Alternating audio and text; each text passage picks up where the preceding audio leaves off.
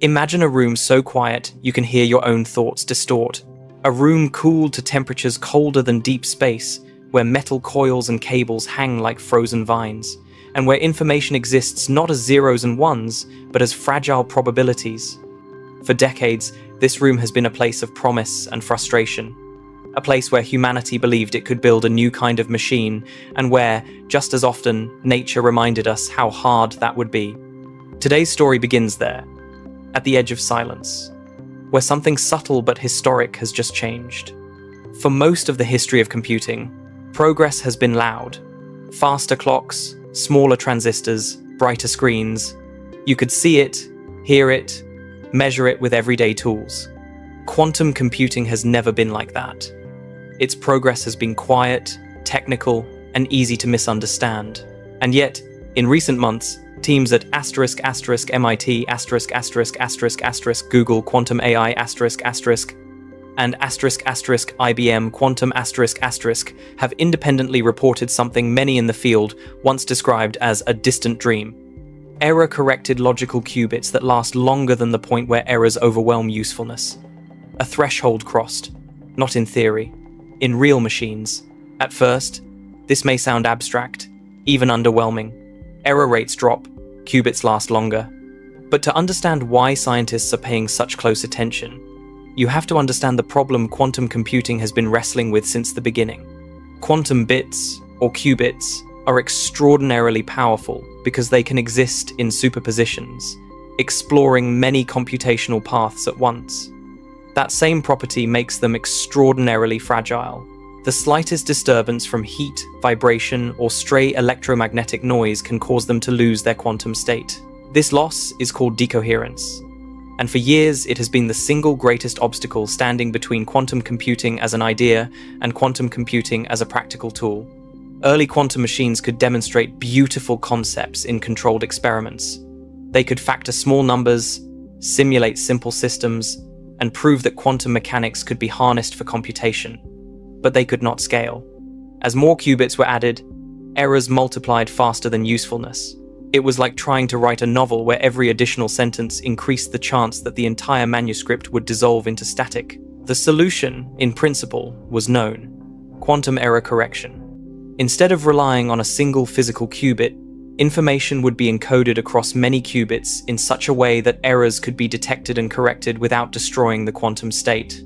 The challenge was that error correction itself requires additional qubits and operations, which introduce their own errors. For a long time, this led to a discouraging paradox. You needed error correction to build a useful quantum computer, but you needed a useful quantum computer to make error correction worthwhile. This is where the idea of a critical threshold enters the story, Theoretical work suggested that if physical qubit error rates could be pushed below a certain limit, then adding more qubits and more layers of error correction would actually improve performance instead of making it worse. Above that threshold, scaling was futile. Below it, scaling became meaningful. For years, that threshold loomed like a distant horizon, visible in equations, unreachable in hardware. What has changed now is not a single dramatic breakthrough, but a convergence. Different architectures, different materials, different engineering philosophies, and yet similar results.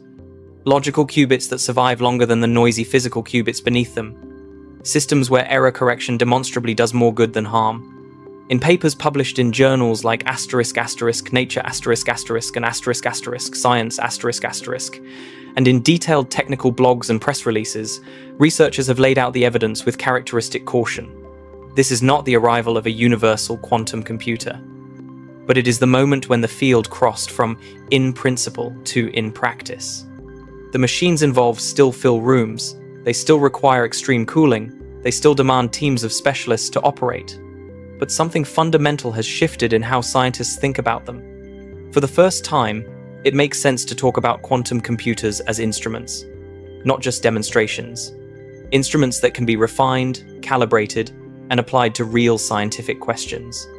To appreciate why this matters, consider materials science. Many of the properties we care about in materials, from superconductivity to catalytic efficiency, arise from quantum interactions between electrons. Classical computers struggle to simulate these systems because the number of possible states grows exponentially. Quantum computers, by their nature, are well suited to this task. A stable, error corrected quantum computer could simulate new materials before they are ever synthesized, accelerating discoveries that today take years or decades. The same logic applies to chemistry and drug discovery. Molecules are quantum systems. Their shapes, reactions, and energies depend on interactions that are approximated on classical machines. Quantum simulations could reveal pathways to new drugs, new fertilizers, and new energy storage technologies with unprecedented accuracy. These are not speculative applications invented for headlines. They are precisely the problems quantum computing was designed to address. Cryptography adds another layer of significance. Much of modern digital security relies on mathematical problems that are hard for classical computers to solve. Quantum algorithms, in theory, can solve some of these problems efficiently. This has led to both excitement and anxiety. The recent advances do not mean encryption is about to collapse overnight. But they do mean that planning for a post quantum world is no longer hypothetical, it is prudent. What makes this moment especially compelling is its quietness. There was no single press conference declaring victory, no countdown clock, no dramatic reveal. Instead, there were careful graphs showing error rates, plots of logical qubit lifetimes, comparisons between physical and encoded performance, the kind of evidence that matters deeply to experts and barely registers to casual observers.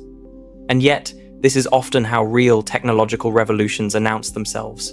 There is a parallel here with the early days of classical computing. The first electronic computers were enormous, unreliable, and difficult to program. They failed often. They required constant maintenance. But at a certain point, their reliability crossed a threshold. From that moment on, it became reasonable to invest in software, applications, and ecosystems. Progress accelerated not because the machines were perfect, but because they were finally good enough. Quantum computing appears to be approaching a similar inflection point. It is important to be precise about what has and has not been achieved. These results do not mean that quantum computers are ready to outperform classical supercomputers on every task. They do not mean that practical, fault tolerant quantum computers are already widespread. What they do mean is that the fundamental scaling argument has changed.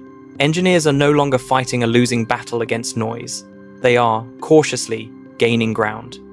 Researchers themselves emphasize this nuance.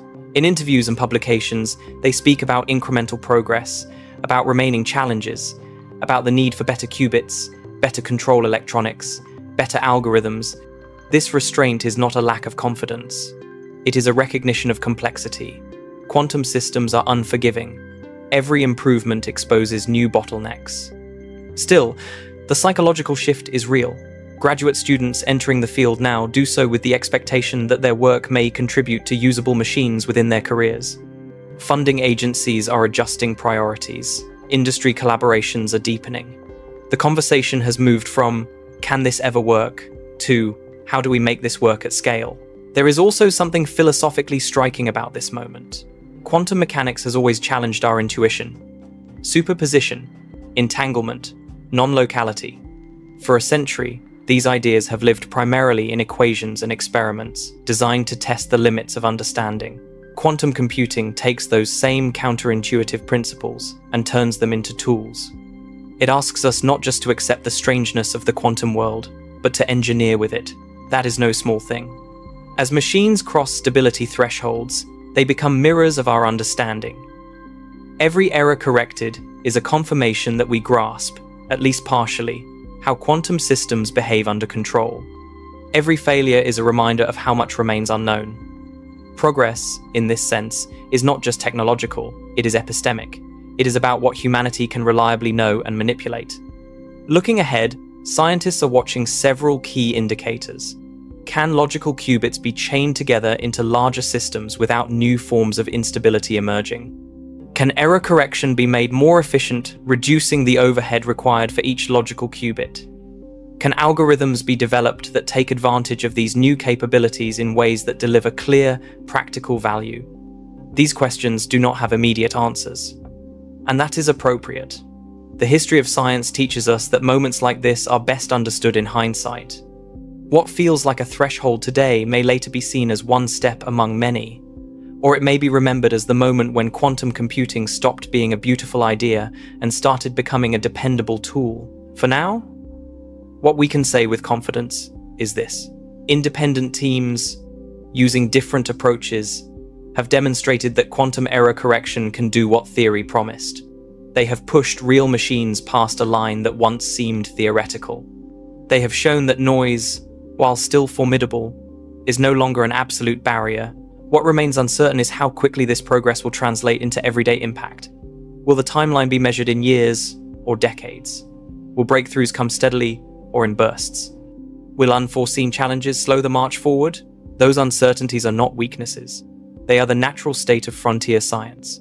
As the cryogenic rooms remain quiet and the qubits continue their delicate dance, something fundamental has changed. Not in the noise, not in the equations, but in our confidence that the quantum world, strange as it is, can be made to work with us rather than against us. And that realization, calm and understated as it may be, marks a genuine turning point in the long story of computation.